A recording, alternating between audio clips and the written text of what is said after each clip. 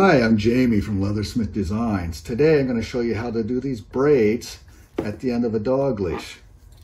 First, you need to cut two slots at each end of the dog leash.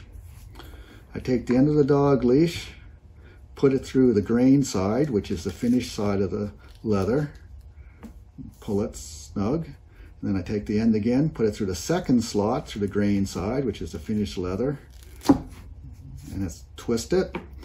Next, I slide on my dog leash clip. Take my end, put it through the second slot.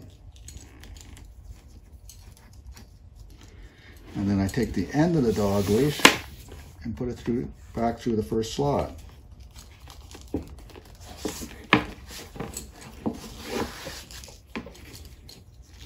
I have to adjust it into place.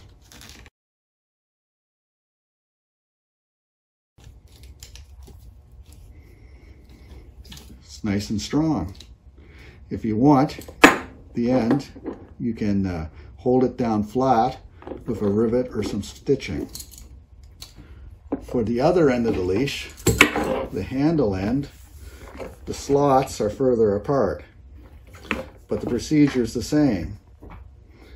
Take my end of the leash, put it through the grain side of the slot, pull it tight, go to the second slot, take my end through the grain side, the finished side, pull it snug. Then I take my end, put it up through the second slot,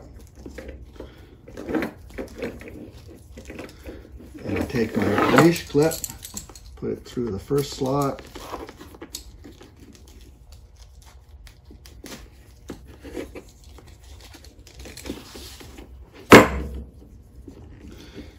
adjust it into place. And it's nice and strong for my leash end. In the end, again, I can put a rivet in or do some stitching there to hold it down flat. You have a nice braid for your leash.